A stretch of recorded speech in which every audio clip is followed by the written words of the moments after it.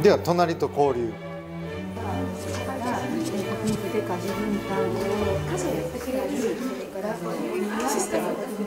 さてさてさて。どうぞ。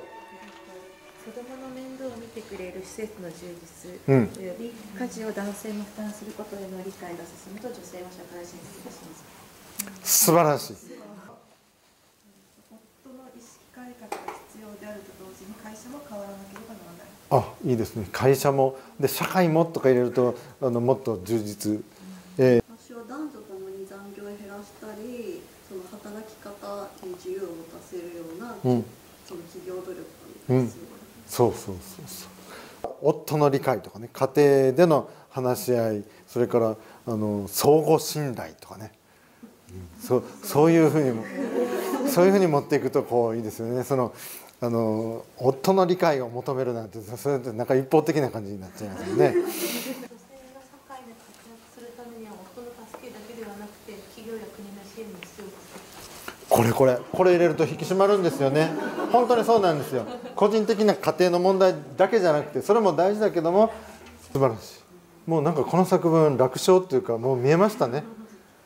あの今から韓国で書いてもらおうかなと思いますえっと今後にとらわれる必要はありません直訳みたいにならないでグイグイと書いていくこうですはい 앞으로 여성의 경제 활동을 에, 발전화시키기 위해서는 음. 에, 부부가 에, 가사 역할의 분담을 하거나 음. 에, 전부 전부가 에, 보이 앞으로 여성, 여성의 경제 활동